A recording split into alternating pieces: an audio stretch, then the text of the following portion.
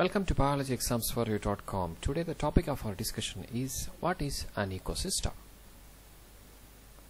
In this presentation we will be discussing about what is an ecosystem, different types of ecosystem, components of ecosystem and examples of ecosystem. First of all starting with the term ecosystem. The term was coined by A.G. Tansley, a British ecologist. The term eco means the sphere or the region where organisms live and system is a result of interaction between many components. Now moving to the definition. Let's take an example to make out the definition. This is a pond ecosystem. Let us list out the living beings in the system.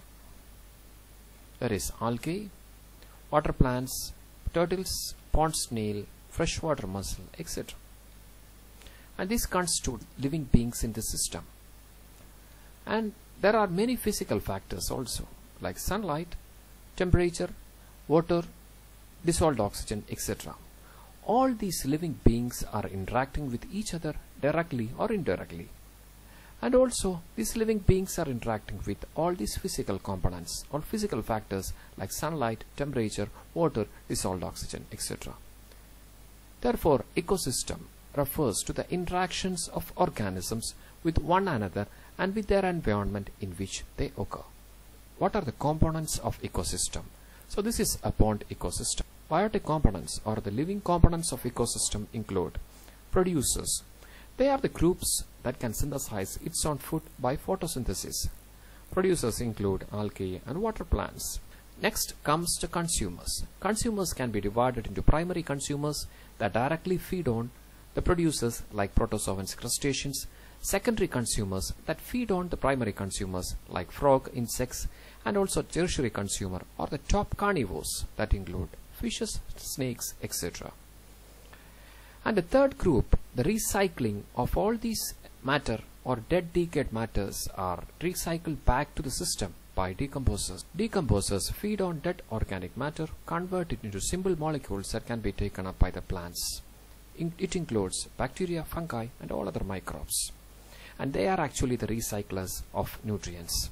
Now the second component that is the abiotic component or the non-living component of the ecosystem. That includes, that can be divided into inorganic components like carbon dioxide, water, nitrogen, sulfur, calcium, phosphorus, etc. All are nutrients that is essential for life. Second is organic components and these nutrients are taken up by these groups and converted into biomolecules like protein, carbohydrate, lipid, etc. All are carbon containing compounds.